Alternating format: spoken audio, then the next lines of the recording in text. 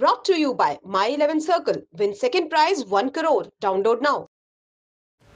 शनिवार को हुए लखनऊ सुपर जायंट्स और दिल्ली कैपिटल्स मुकाबले में मार्क वुड पूरे मैच में अपनी शानदार और लीथल गेंदबाजी के कारण छाए रहे मैच की शुरुआत से लेकर मैच के अंत तक इंग्लैंड का ये गेंदबाज दिल्ली कैपिटल्स के खिलाड़ियों पर कहर बनकर छाया रहा इसी के साथ मार्क वुड आईपीएल सोलवे सीज़न में पाँच विकेट लेने वाले पहले गेंदबाज भी बन गए और उनकी शानदार गेंदबाजी ने लखनऊ सुपर जायंट्स को न केवल मैच जिताया, बल्कि उन्हें भी प्लेयर ऑफ़ द मैच की ट्रॉफी से नवाजा गया।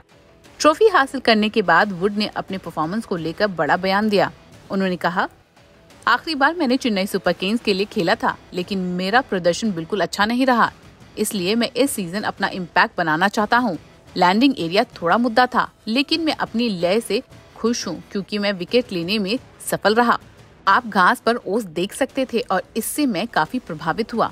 हमने यहाँ ट्रेनिंग की थी, इसलिए हमें पता था कि ओस एक एक्स फैक्टर होगी। इसके बाद मार्क वुड ने अपनी सफलता का राज भी खोला और बताया कैसे के राहुल ने उनके लिए चीज़ें आसान की, जिसके कारण वो ऐसा प्रदर्शन करने में कामयाब रहे। उन्होंने कहा के ने मेरे लिए चीज़ें सरल रखने की कोशिश की और मॉर्ने के साथ योजना ने मेरी मदद की। मैं अपने स्ट्राइड्स को छोटा रखने की कोशिश कर रहा था। अभ्यास मैचों के दौरान यहाँ पहले भी परीक्षण लिया। हालाँकि उस समय तीव्रता अलग थी। उतनी नहीं जितनी आज रात थी।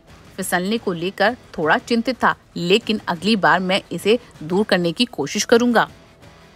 मैच से जुड़े आपके हर सवाल का हम देंगे जवाब। जानने के लिए हर update live analysis special interviews download कीजिए स्पोर्ट्स तक ऐप